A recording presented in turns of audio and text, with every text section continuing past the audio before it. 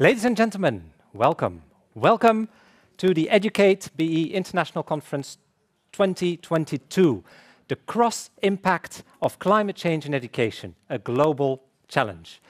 Bienvenue, messieurs, mesdames, à la conférence internationale d'Educate BE 2022, l'impact croisé du changement climatique et de l'éducation, un défi mondial.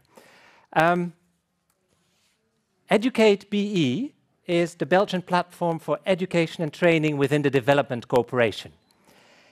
And uh, there are 53 members that are member of the platform. So that's one of the things that you will notice. There were many, many people here from the platforms. Now, um, a couple of things that I would like to share with you before uh, we really start getting into it. My name is Ruben, and I will be moderating all this today and tomorrow. For online participants, but also for people in the room, you have the people in the room have a headset, and online participants, they have a button where they can change languages because there is simultaneous translation. Pour les gens à la maison et pour les gens dans la salle aussi, il y a de l'interprétation simultanée. Donc, c'est-à-dire, vous pouvez changer sur l'écran, vous pouvez appuyer sur le bouton pour passer au français lorsque la présentation ou lorsque euh, le discours sera en anglais et inversement. Um, now, uh, after two years online, we finally can gather here physically. And you already see immediately that the pace physically is different than when you're online. People are still coming in, but we are not going to wait for them because online we have people sitting behind their desk wondering why we are five minutes late. So that's why we are now here um, already starting, whereas I see many people still coming in. Um, but it's also great to be able to do this in a hybrid way, because that's something we haven't done. Well, we have done online for two years and now again hybrid, hybrid, or now using both worlds together. So it allows us to do something on climate change, uh, but also allowing us to kind of lower our impact on climate by not having to fly people in from all over the world. Uh, so we are very grateful that also you, as online participants, are um, available, are, are here today. Um, great. There, um, there's one thing I would like to say. Um, we are going to use, if you want to participate, if you want to interact, we are going to use, the, you can use the chat box within the online system that you have. But we will be also using the Mentimeter. And the Mentimeter works as, as, as follows, uh, and that's also for the people here physically present in the room. The Mentimeter is on your mobile device. So that's also for the people online. You can use the mobile device. And you go to, to menti.com, menti.com, M E N T I.com. M E N T I.com. And then you type in 5227 0089. So we will be using this tool. Yes, very good. Um, last thing, before I give the floor for the opening words, last thing I would like to say is that this conference is being uh, supported um, financially, technically by, of course, VVOB, APF, UNICEF, Enabel, Enable, et aussi avec le soutien tout particulier cette année de l'Institut de la francophonie pour l'éducation et la formation, l'IFEF, que l'on aura, euh, euh, aura aussi présent pour le mot d'ouverture ici, en ligne. Donc, euh, Mona Laroussi qui, se, qui, sera aussi en ligne. Mais avant d'avoir euh, le mot d'introduction de Mona Laroussi, on va d'abord passer au mot d'introduction de VVOB et de l'APF. J'aimerais inviter, inviter Sven Roms et Stéphane Pluma pour pour leur mot d'introduction.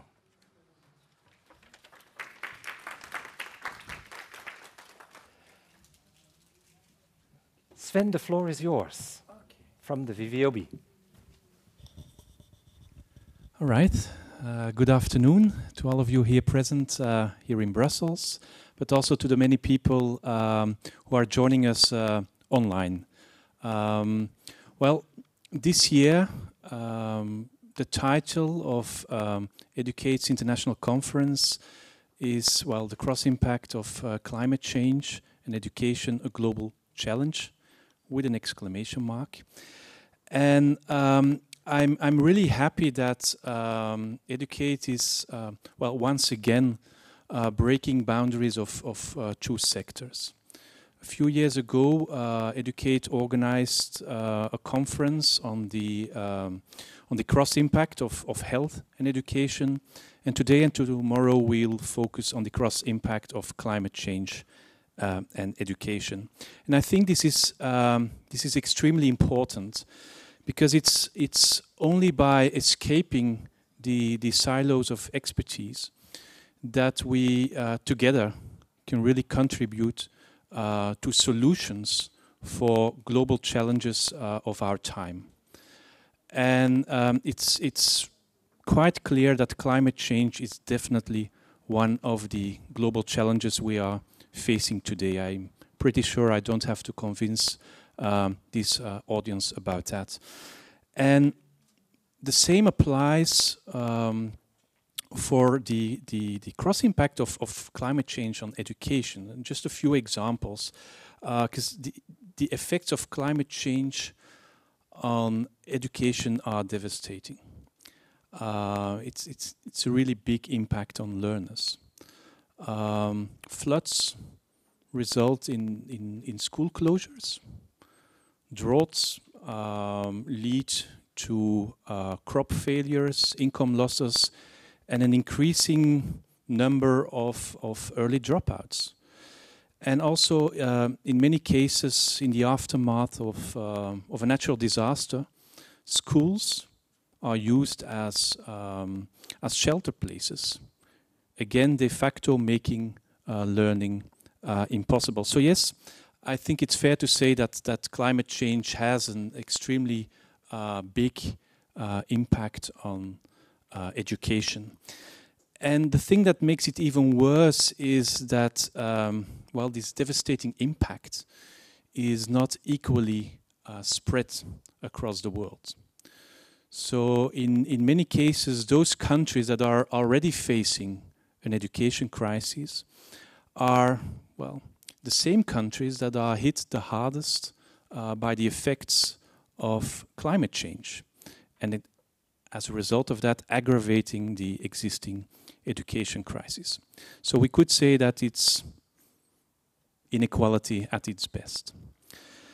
Um, but as much as, as um, climate change has a negative impact on education, uh, education has a a huge potential uh, to be part of uh, solutions for uh, climate change.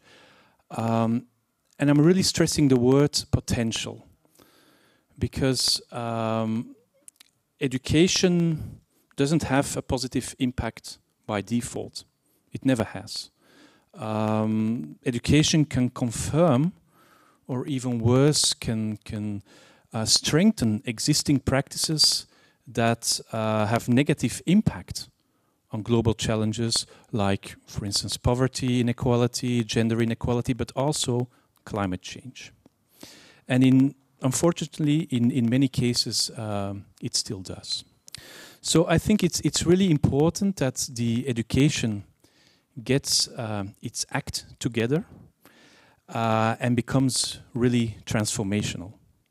It's only by doing that that education can become a part of the solution. And we as education actors here in this venue, also online, we have a role to play. We need to support ministries of education, teachers, school leaders, and all uh, people involved uh, in education system to ensure that education can become a part of the solution. So for today and tomorrow, I, um, I invite you, I encourage you to, to really listen to each other, to discuss and to learn uh, from each other, to ensure that once we go home, that we can really be part of the fact that education can become transformational. So I think we can do that, and I would also say with an exclamation mark. Thanks. Thank you very much, uh, Sven Roms, Director General of the uh, VVOB, um, stressing the potential of education in giving us solutions. Stéphane Plumet, Directeur Général de l'APF. Je vous laisse la parole pour le mot d'ouverture. Merci beaucoup. Madame la directrice de l'expertise sectorielle et thématique d'Enabel, Madame la directrice de, l'IFEF, chère Mona, cher Sven, et vous toutes et tous, mesdames et messieurs, en votre titre, grades et qualités. voilà, comme Sven, je suis très heureux aussi d'être ici euh, cet après-midi, après de longues, j'allais dire de longues années, de longs mois euh, de quasi-confinement. Alors la crise environnementale, ou plutôt la transition environnementale que nous vivons, je crois qu'il ne faut pas parler de crise. Quand on parle de crise, ça veut dire qu'on va revenir à un état euh, précédent euh, la crise. Ici, nous, on est vraiment en transition. On sait bien qu'il n'y aura pas euh, de retour à un état précédent. Donc la transition environnementale à laquelle nous sommes tous confrontés, où que nous demeurions sur notre planète commune, nous oblige à, rechercher ensemble les solutions qui nous permettront de voir l'humanité continuer à vivre et à progresser dans la dignité avec un bonheur justement et équitablement partagé. La situation est complexe, on le sait, et les solutions qui nous permettront de nous y adapter n'émergeront qu'avec la participation et l'implication de toutes et tous. Parmi elles et eux, les enfants sont autant de pierres angulaires dans la construction d'un avenir porteur d'espoir, et avec eux aussi les communautés dans lesquelles ils sont élevés, parce que l'éducation est une transmission qui s'effectue d'abord au sein des communautés et au sein des familles. Un enfant se construit aussi par ce qu'il voit, par ce qu'il entend, par ce qu'il ressent, en observant ses parents et les adultes qui l'entourent. Rappelez-vous quand vous étiez enfant, qui n'a jamais rêvé de faire comme papa ou maman, comme le voisin ou la voisine, ou l'artisan, l'artisane du quartier Et donc, dans cette transition, si nous visons une efficacité maximale, à côté de ce qui peut être réalisé, transmis à l'école, il nous faut aussi être attentifs à ce que nous pouvons favoriser au sein des familles et des communautés pour faciliter l'implication des enfants, futurs adultes, dans la résolution des problèmes environnementaux et donc climatiques. Parler du climat dans les classes à l'intérieur des écoles constitue une base, bien évidemment. Mais il faut aussi prolonger cette action jusque dans les familles et les communautés, et cela de manière articulée. Comment? Ben, Si tous les projets éducatifs devraient idéalement, comme on le fait pour le genre, développer un axe climat-environnement, et on peut considérer que cela se rapporte à la cible 4.7 des objectifs du, du développement durable, tous les projets consacrés à la lutte contre les changements climatique devrait, dans l'autre sens, développer un axe centré sur l'éducation, la sensibilisation et les capacités individuelles, institutionnelles en ce qui concerne l'adaptation au changement climatique, l'atténuation de leurs effets et la réduction de leur impact. Et là, je viens juste de, de reprendre, de lire la cible 13.3 des objectifs du développement durable.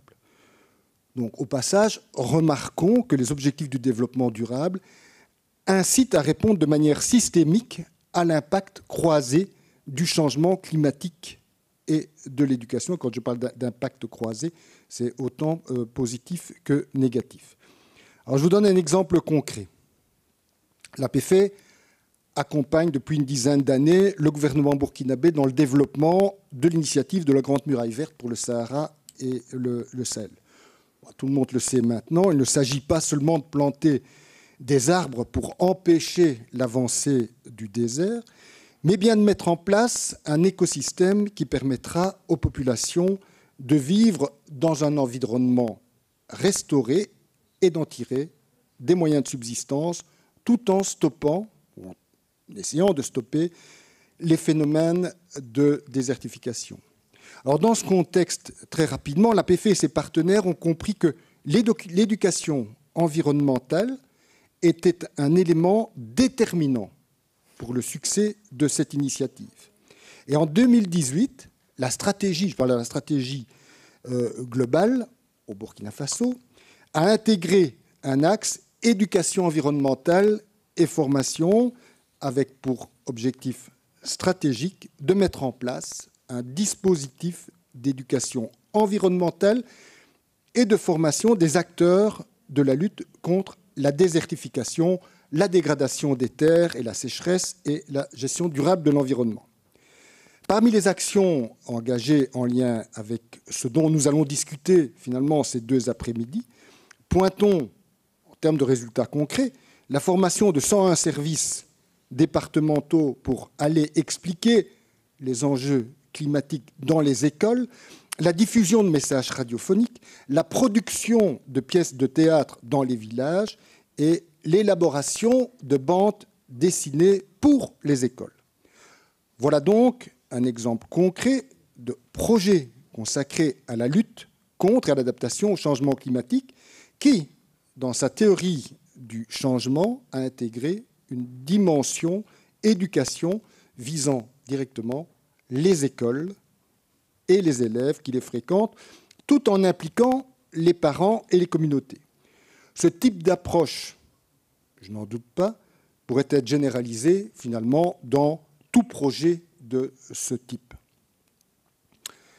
Avant de terminer, je voudrais particulièrement remercier, après euh, ce qu'a dit Ruben, euh, l'Institut francophone pour l'éducation et la formation pour son implication dans cette euh, conférence internationale.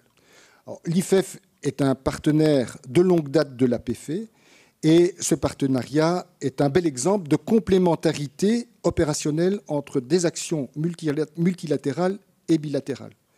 Je crois profondément aux vertus de cette complémentarité parce que les programmes des agences multilatérales sont en général co-construits sur les besoins directement exprimés par les, par les bénéficiaires et non pas au départ de fantasmes ou pire encore d'intérêts étrangers aux enjeux locaux. Voilà. Je termine en vous souhaitant d'excellents travaux, inspirants et enrichissants pour toute notre communauté. Bonne journée internationale d'éduquette. Voilà. Merci beaucoup Stéphane. Merci beaucoup aussi de, de, souligner ce lien étroit entre l'éducation, euh, le changement climatique et aussi l'aide au développement.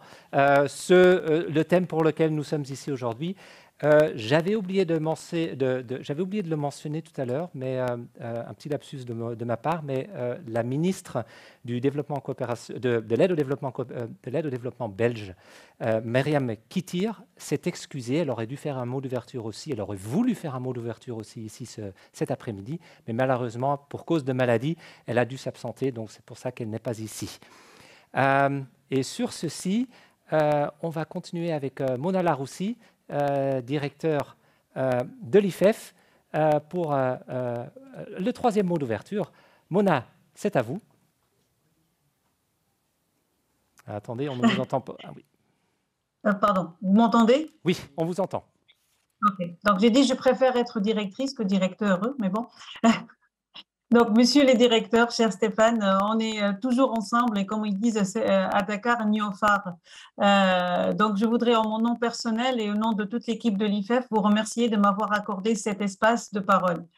le, mois dernier, au mois de septembre, j'ai été présente au sommet de la transformation de l'éducation, Transforming Education, un sommet qui se positionne en réponse à la crise que vous avez tous évoquée, c'est la crise mondiale de l'éducation, une crise d'équité, d'inclusion et de qualité, surtout post-pandémie. Cette euh, crise a relevé, a révélé aussi de grandes disparités, non seulement entre le pays et entre les pays, mais surtout dans le pays et dans un groupe d'individus. Et donc, en effet, avant la pandémie de la Covid-19, plus d'un quart de milliard d'enfants n'étaient pas scolarisés et la moitié des élèves terminaient l'école primaire sans posséder les connaissances de base en lecture.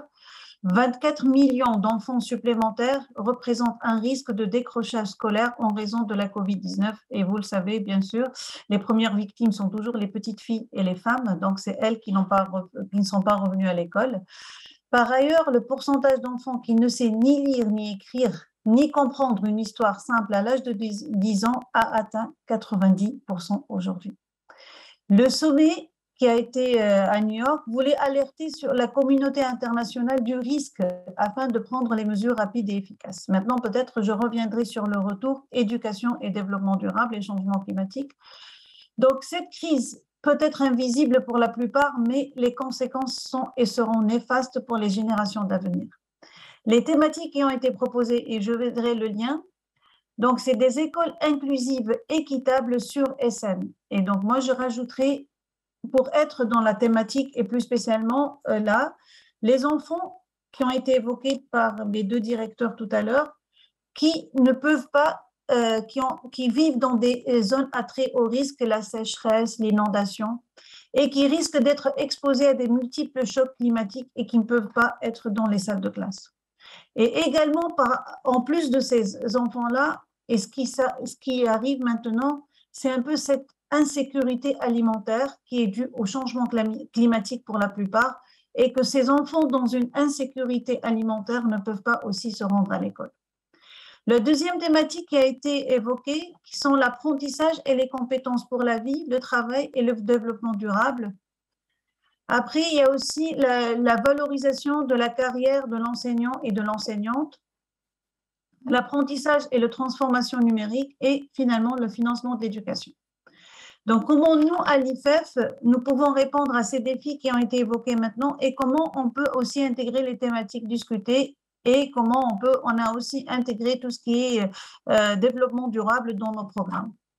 Donc, nous, on travaille à travers nos programmes avec les pays dans des projets structurants avec une approche systémique qui impacte les domaines de l'éducation, de l'emploi et de la formation et de l'insertion professionnelle. On travaille beaucoup avec le numérique, les innovations, le développement dans un respect de l'environnement et des contraintes liées au changement climatique.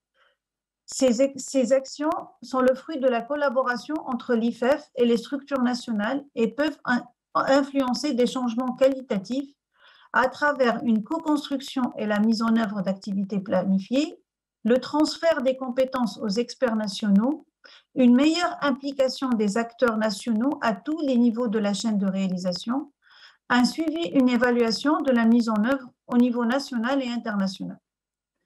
Donc, je vais essayer de juste de présenter les programmes et comment les programmes peuvent aller dans l'autre sens. En mathématiques, on appelle ça la bijectivité.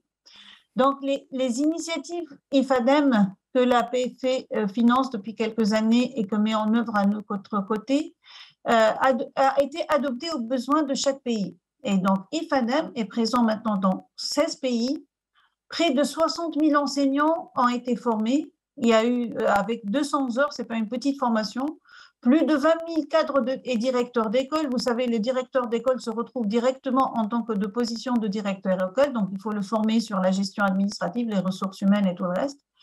Et puis 112 livrets d'auto-formation produits par des concepteurs locaux appuyés par l'expertise francophone internationale. Donc, ces livrets traitent les thématiques classiques, comme vous les connaissez, animer une salle de classe, rédiger une fiche pédagogique, comment faire une évaluation, mais également, ces livrets traitent le recyclage des produits, qu'est-ce qu'on peut faire avec des feuilles qui ne servent plus, et comment on peut aussi utiliser le plastique, comment on peut donner plastique, etc. Et surtout, il, il prévoit et il prévient euh, des dangers liés au changement climatique. Bien sûr, ces livrets, nous les imprimons que si nécessaire, et, mais ils sont disponibles en ressources éducatives libres sur le net et dans le site de l'IFEF et de, euh, enfin, l'IFEF et puis IFADEM. Sur le programme Elan, nous travaillons sur les langues nationales et puis juste un chiffre qui peut être facile ou alarmant, c'est que 8 enfants sur 10 en Afrique sont, vivent dans un milieu semi-urbain. Donc, les, les enfants de ces villages-là n'écoutent et n'entendent que la langue de la maman. Ils arrivent à l'école et ils se retrouvent en train d'être euh, enseignés en français. Donc, ils partent d'un double handicap. Ce programme travaille donc avec les langues nationales. Et donc, dans ce programme-là, on a formé 4000 enseignants dans 1100 écoles bilingues au bénéfice de 110 000 élèves on a développé des outils didactiques pour l'enseignement et des disciplines linguistiques, mais également pour introduire et impliquer et mettre un peu de développement durable, mais avec la langue nationale qui est plus compréhensible par les autres. Bien sûr, on travaille beaucoup avec des messages, des plaidoyers et tout le reste. Nous avons euh, également un programme qui vise l'amélioration et l'augmentation de l'offre de formation professionnelle. C'est le programme FIGE, Formation et Insertion des Jeunes. Sur ce, sur ce programme, nous travaillons maintenant avec les métiers verts et bleus, surtout à la lumière du rapport de la Banque africaine du, développement qui nous renseigne sur le fait que l'Afrique est le continent le moins résilient en termes de changement climatique. Euh, à la fin, juste un point pour ça. Et dans le cadre du développement durable, il y a les ODD 5 et 8 où il y a les femmes et l'autonomisation des femmes. Donc sur ce, nous avons mis en place un portail de ressources éducatives libres qui recense toutes les fiches pédagogiques qui peuvent être données à l'enseignant pour intégrer l'égalité des chances et des femmes. Et puis, pour maintenir la femme le plus longtemps possible et la fille le plus longtemps possible dans la salle de classe, bien sûr, sans oublier une grande partie d'entrepreneuriat féminin, euh, féminin d'autonomisation des femmes, etc. Donc, nous, euh, j'ai fait rapidement un topo de ce qu'on fait et c'est surtout euh, comment l'éducation peut être un facteur qui, euh, qui agit pour les changements climatiques et pour le renforcement des compétences en termes de développement durable.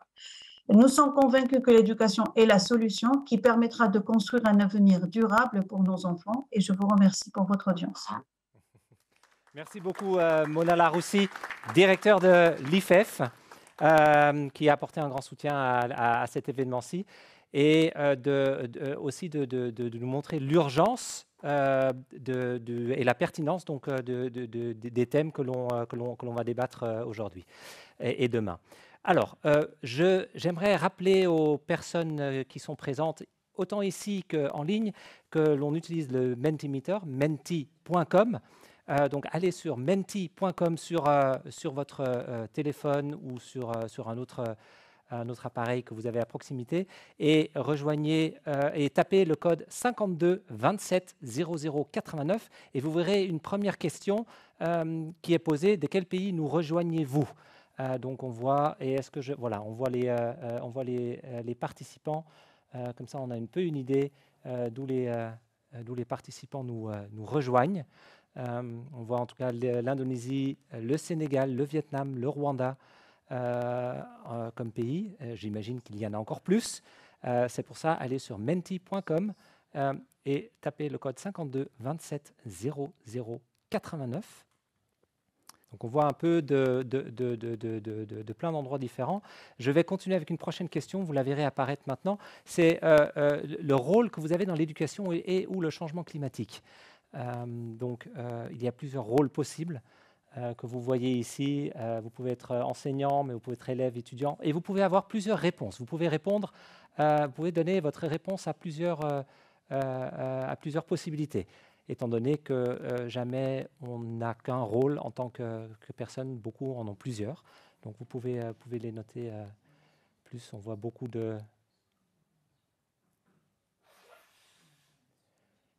Et Stéphane, juste une question, quand on voit un peu le, le, genre de, public, d'audience que l'on a maintenant, est-ce que y a, ça vous, ça vous, est-ce qu'il y a une remarque qui... Euh, ou, or Swen? No, I think I think it's um, it, it's it's nice to see that we have some some um, people uh, joining uh, this conference from, from different parts. uh, both from, uh, let's say, civil society and, and government, which I think is really important, because if we look at education from a, from a rights-based perspective, for instance, um, education, quality education is the responsibility of government, so it's very good that we have uh, representatives from government here, but as civil society, we also have a role to play uh, yeah. to, well, on the one hand, to support governments so that they can, can uh, take up their responsibility in, in, in, a better way, but also to, to, to create um, awareness about the, the importance of education and, and to involve also families, etc. So, so, I think so, so, all these to support teachers yes, and indeed. students. Yes, indeed. I think it's a, it's a joint um, it's a joint endeavor to if we really want to to uh, improve the quality of education. We can't do it, as I said in the beginning, we can't do it in silos. We have to yeah. work together. Last question before we move on, um, which is what question would, would you like to get answered during the conference? Now, what question would you like to get answered during those two days that you are here?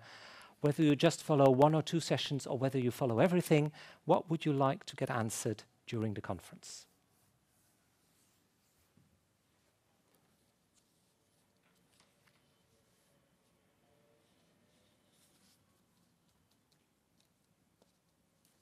And this usually takes indeed a little bit more time because you have to type like